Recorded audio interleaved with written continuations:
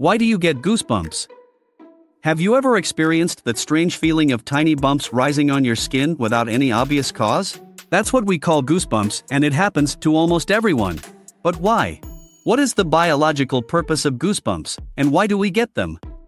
Goosebumps are caused by tiny muscles around the base of each hair follicle called erector pili muscles. When these muscles contract, they pull on the hair follicles, causing the skin to rise and the hair to stand up.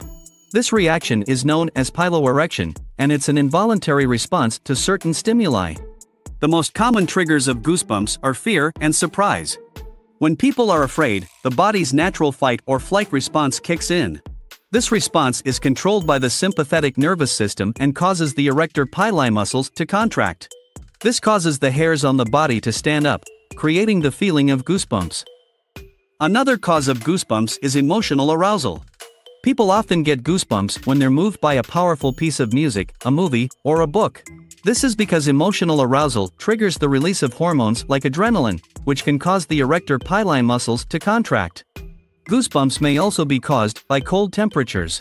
When the body is cold, the sympathetic nervous system causes the erector pili muscles to contract, making the hair stand up in an attempt to create an insulating layer of air around the body. Now that we know what causes goosebumps, let's look at why they exist. It's believed that goosebumps were once an evolutionary advantage.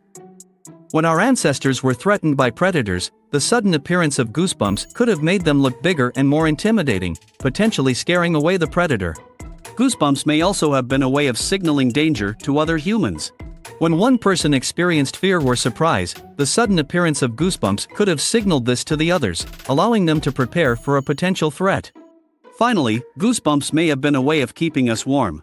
When the body is cold, the hairs stand up in an attempt to create an insulating layer of air around the body. This extra layer of air can help keep the body warm and insulated. Today, goosebumps are no longer an evolutionary advantage, but they still serve an important purpose. They can help us recognize when we're feeling fear or surprise and can help us prepare for potential danger. They can also help keep us warm in cold temperatures. So the next time you experience goosebumps, remember that they're there for a reason.